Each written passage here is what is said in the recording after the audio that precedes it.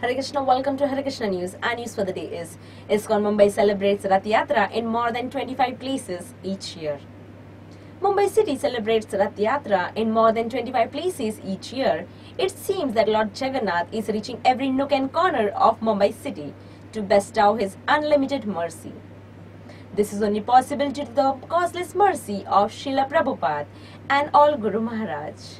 Thanks to devotees from Mumbai ISKCON temples and Mumbai preaching centers. These places in Mumbai include Juhu, Mira Road, Kharghar, Dadar, Colaba, Bandra, Bhayandar, Nagpada, Kharghar, etc.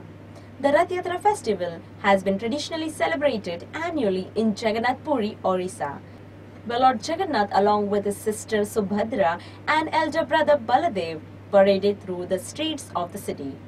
This practice and festival still take place in Puri since the late 60s all over the world. The first Rath Yatra outside India was initiated by His Divine Grace A.C. Bhaktivedanta Swami Prabhupada, the founder Acharya of the International Society for Krishna Consciousness, on July 9, 1967, in San Francisco. The Lord of the Universe, Jagannath, now parade in major cities all over the world such as London, Paris, New York, Rome, etc.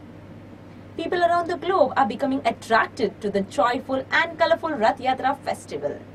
Thousands of devotees come out to streets to pull the giant chariots, chant and dance and enjoy tasty prasadam which brings real peace and joy to all the devotees.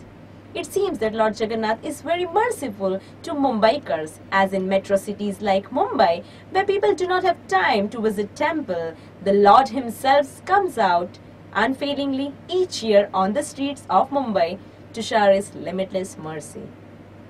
Jai Jagannath. This ends our news for the day. For more news, keep watching Hare Krishna News. Thank you very much. Hare Krishna.